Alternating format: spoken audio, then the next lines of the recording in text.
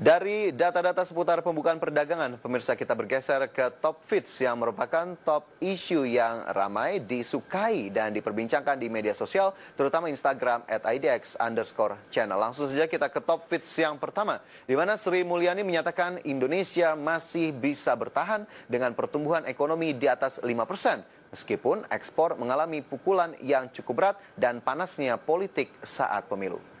Sri Mulyani menerangkan kondisi perekonomian global masih dipenuhi ketidakstabilan dengan berlarut-larutnya perang dagang antara Amerika Serikat dan China.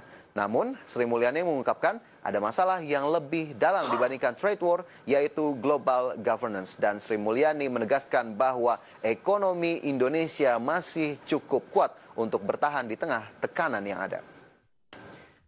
Sementara itu, top fits berikutnya, pemirsa, emiten PT MNC Vision Networks atau emiten dengan kode saham IPTV secara resmi menyelesaikan akuisisi mayoritas saham K-Vision sebesar 60% pada selasa kemarin. Akuisisi K-Vision oleh MNC Vision Network mewakili upaya IPTV untuk memperkuat portofolio serta membuka pasar baru. Direktur Utama MNC Vision Network, Ade Cendra, dalam keterangan resminya menyatakan akuisisi K-Vision merupakan langkah yang tepat untuk portofolio platform berbasis langganan dan memberikan diversifikasi lebih lanjut berdasarkan segmen dan geografi. Akuisisi ini sesuai dengan filosofi perusahaan yang dipandang dan dikenal luas sebagai penyedia TV berbayar terlengkap dan terbesar di Indonesia.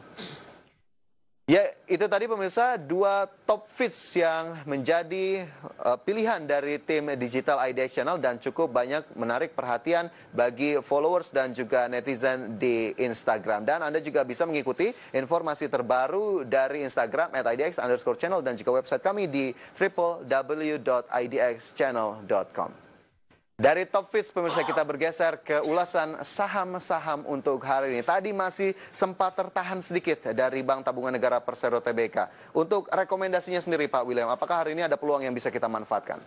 Dan kalau cuma untuk hari ini mungkin peluang teknikal pun masih technical bisa dimanfaatkan. Tapi kalau kita bicara jangka panjang, jangka panjang okay. atau menengah deh, kalau kita lihat uh, untuk BBTN sendiri ya, ya. Bank Tabungan Negara, uh, trennya enam bulan aja udah sebenarnya udah trennya turun. Oh, okay. Jadi uh, potensi untuk uh, arah lebih turun lebih dalam masih terbuka.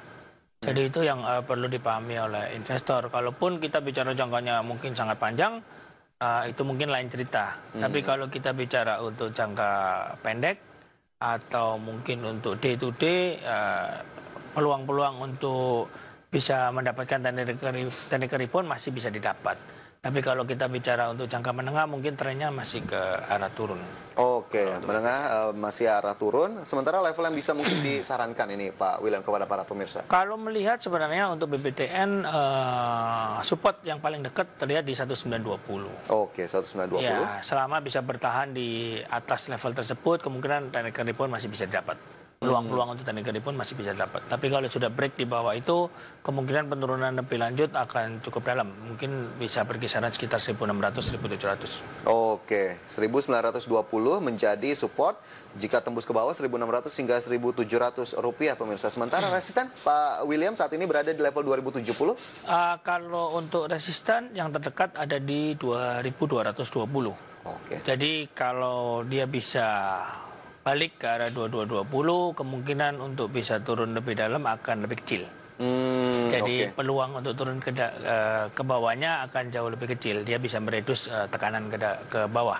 Jadi saya rasa itu nanti terus dia akan sideways di antara 19 sampai dengan eh 1920 tadi hingga ke 2200-an. Kira-kira akan bergerak sideways ke sana. Oke, sideways saja 1920 eh, hingga 2200 pemirsa yang bisa Anda jadikan catatan sebagai level support dan resisten terdekat untuk BBTN. Sementara dari BBTN kita bergeser ke saham perbankan lain pemirsa yang ini juga tadi salah satunya masuk dalam rekomendasi di hari ini. Masih dari Bank BUMN pemirsa kita coba cermati bersama data-data terakhir yang sudah dirilis dari Bank Rakyat Indonesia Persero TBK atau emiten dengan kode saham BBRI. Dapat Anda uh, cermati di layar televisi Anda dalam stop shot yang kami sajikan. Di mana Bank Rakyat Indonesia Persero TBK uh, menyalurkan kredit UMKM mencapai 681,5 triliun rupiah di semester 1 dan kredit UMKM ini mendominasi sebesar 76,72 persen.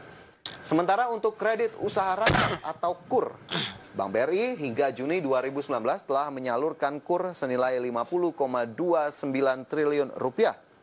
Dari sisi bottom line atau laba bersih BBRI, ini tercatat sebesar 16,6 triliun rupiah atau naik 8,20 persen secara year on year.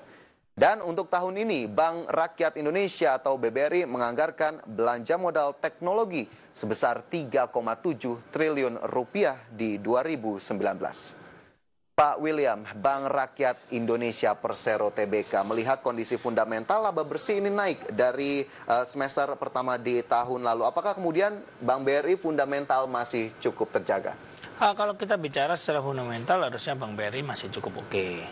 Okay. Namun kalau kita nanti mungkin fokus ke, ke arah pergerakan sahamnya ya. ya. Kalau pergerakan saham sepertinya uh, bisa dikatakan masih sideways. Sideways. 6 bulan terakhir kita juga lihat uh, harga tidak terlalu ke mana-mana walaupun sempat uh, terjadi tekanan hingga ke angka 3.700 di mana itu uh, hmm. terjadi pada saat kira-kira uh, di pertengahan tahun ya. Ya untuk hal tersebut. Jadi kalau kita bicara untuk BRI sendiri, kondisi tekanan yang terjadi di awal Agustus sepertinya tidak terlalu uh, berdampak, berdampak signifikan. Tidak terlalu. Turunnya tidak sampai serendah pada saat pertengahan tahun. Namun sekarang ini dia lagi coba uh, bertahan di level supportnya dia. Oh, di berapa itu Pak? ya, level support yang terlihat ada di 3.900-an, 3.960 tepatnya. Oh, okay. Kalau untuk level support. Sekarang ini dia lagi bertahan untuk uh, bisa terus uh, di atas 3.960. Okay. Agar tidak melanjutkan penurunan balik malah ke level terendahnya kemarin waktu di 3750. Oke. Namun kalau saya melihat uh, dengan kondisi level sideways gini, saya lihat uh, BRI masih cukup kuat bertahan, paling tidak di atas level 3960 tadi. Oke. Untuk target mungkin yang terdekat kita bisa lihat BRI di angka sekitar 4350 target 4.350 yang terdekat ya. Terdekat. Sementara support ini 3960 ini bisa menjadi salah satu tambahan informasi untuk Anda jika mungkin masih memperhatikan pergerakan saham dari BBRI atau Bank Rakyat Indonesia Persero TBK baik itu tadi level-level yang sudah diinformasikan oleh Pak William dan kita akan coba ulas saham perbankan lainnya Pak William. Hmm. tapi usai jeda berikut ini pemirsa IDEX Channel kami akan segera kembali sesaat lagi